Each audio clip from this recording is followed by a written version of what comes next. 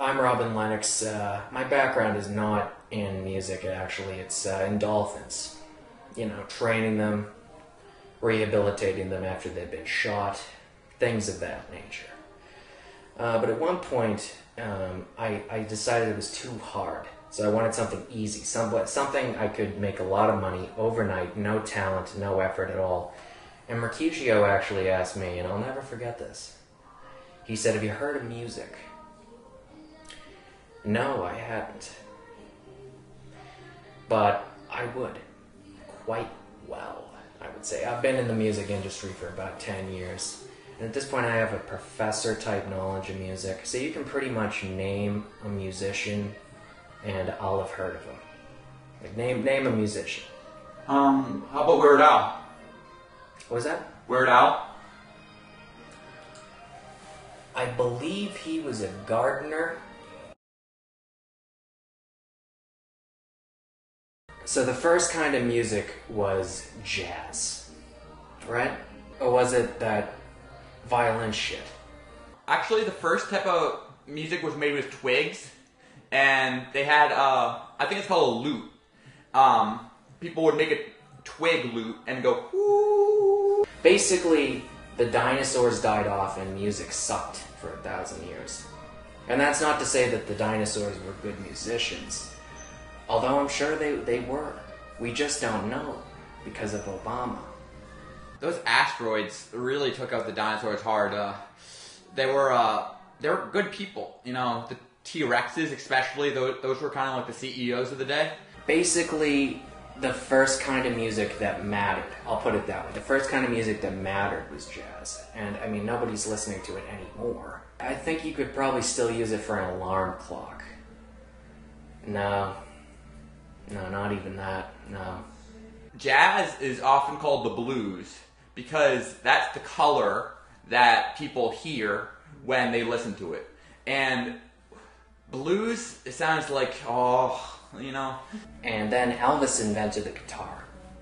And say what you will about Elvis, um, gluttonous pedophile, he did invent the guitar. And you can't take that away from him.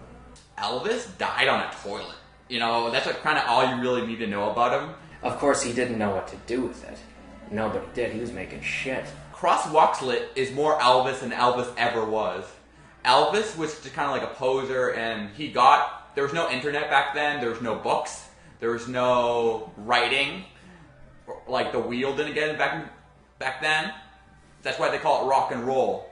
Because is it anytime you were in a wagon, you just hit it. You hit a a stone you go, ooh, uh, uh, and that was that's kind of how Elvis died. But eventually, um, uh, Ozzy Osbourne came along, and he invented metal, and that's basically where we are today. Now, people will say there's other types of music, there's other genres. Not really. Not from what I've seen. I mean, look at Mercutio Steele. He's released 259 albums this year, and it's only March somebody's buying these albums. Cartels, somebody's buying them. Cartels are pretty much our favorite uh, audience out there. Prison music really is his new genre, and it's very, very lucrative. Prison music is actually the fundamental of the whole music industry we see today.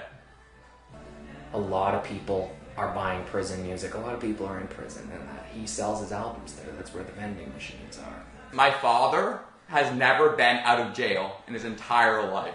I mean, he was born there. Elvis may have invented jail prison music as well. Elvis sort of just, you know, stumbled into it by accident because everything he did was basically a mistake. Robin, his favorite plant is cocaine because it teaches him that keep going, keep going. Same thing in Walmart.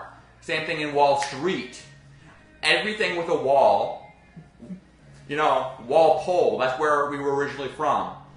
We do a lot of cocaine in Walpole. Unfortunately, a lot of the dolphins I worked with, uh, the ones that didn't get shot, they actually ended up in jail. All right, I- I'm just to be honest with you right now. I, I know I said I left the dolphin industry for music, but the truth was there was a criminal investigation because a lot of the dolphins wound up dead, and a lot of fingers pointed at me.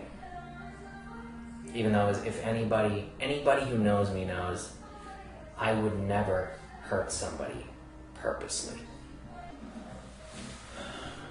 It's difficult to uh, DNA trace dolphin meat. I've been on an airplane since 1996. One of my major concerns when I was working with the dolphins was just how smart they were. Now, of course, I've always been more fearful of humans. But the dolphins, when I turned my back, I could swear they were looking and following me with their eyes around the room, watching where I put the keys, watching where I put the lighter. I'm sure they smoked some of my cigarettes too. I'm sure of that.